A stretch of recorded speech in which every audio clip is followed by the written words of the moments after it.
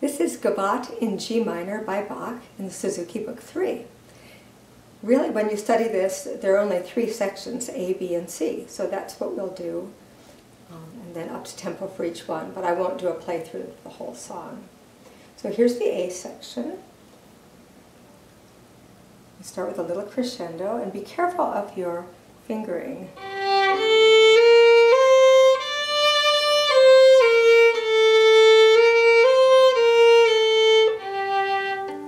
Uh, G minor fingering.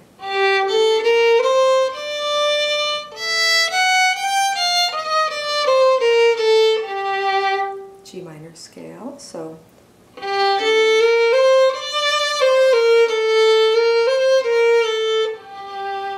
get soft on that last note. Your turn. Okay, and then a nice big sound.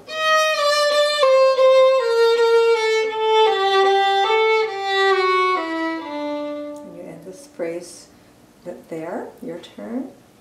Then you pick up with the second half of the A section.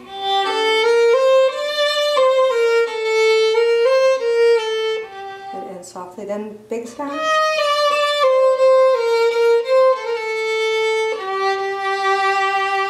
And that little mordent decorates the A. So then I'll join the whole A section together.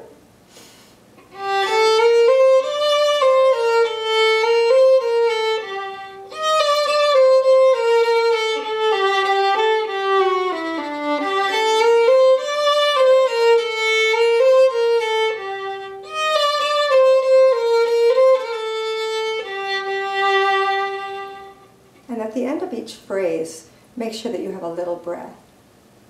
Then the B section also starts with a little crescendo, and these all start with an up bow. Careful of your intonation and how you do your fingers.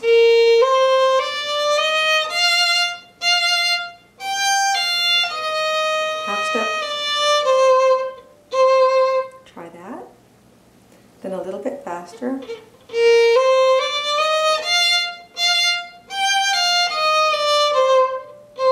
This. That's tricky for most people because you have to tuck your third finger right next to the fourth finger for a half step. Then the next part is a little tricky for rhythm uh, because the bowing is strange. So first practice it as a perpetual motion like this.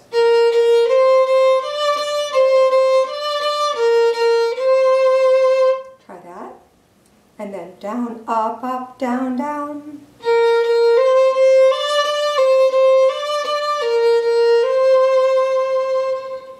It by getting a little softer.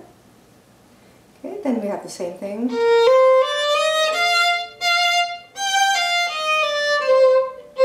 And then a pivot with your first finger from F natural to B flat.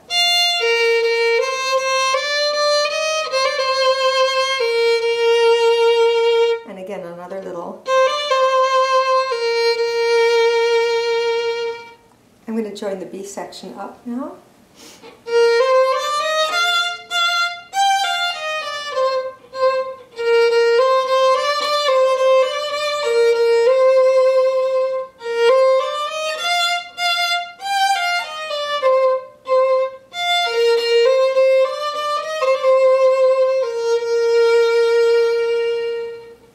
And that's followed by another A section.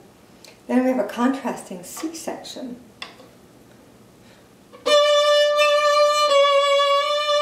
So we have an accidental C sharp. It's a half step away.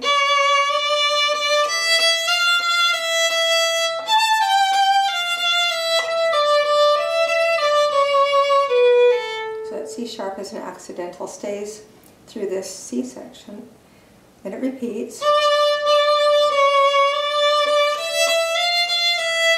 And softly.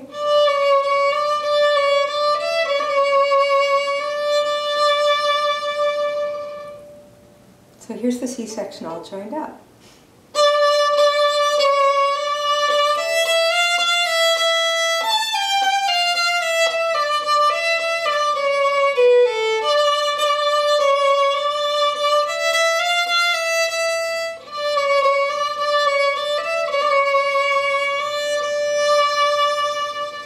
And the song ends with the A section. I will end it for you.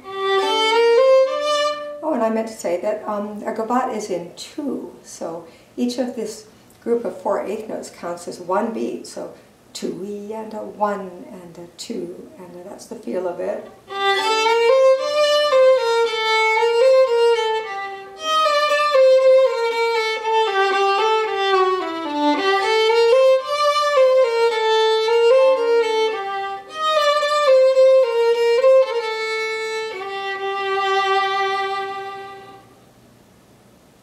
Sure that you end nicely, very serenely. Enjoy learning this piece, it's so beautiful. The end.